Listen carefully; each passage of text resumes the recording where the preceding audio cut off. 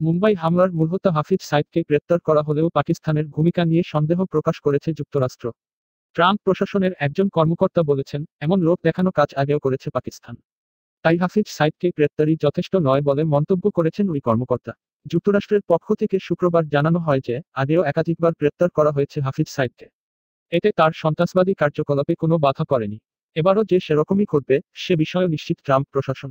তাই সন্ত্রাসের বিরুদ্ধে লড়াইয়ে ইমরান খানকে আরও কঠোর পদক্ষেপ করতে নির্দেশ দিল যুক্তরাষ্ট্র।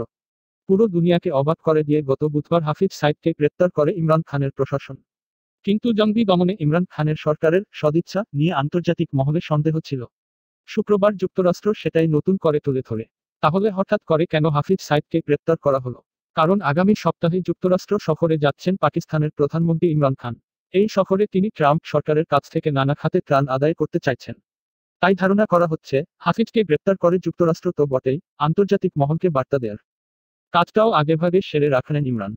উল্লেখ্য, দুই হাজার এক সালে লোকসভা হামলা এবং দুই হাজার আট সালে মুম্বাই হামলার মাস্টারমাইন্ড হাফিজ সাইদকে দুই হাজার এক সাল থেকে এখন পর্যন্ত সাতবার গ্রেপ্তার করেছে পাকিস্তান সরকার।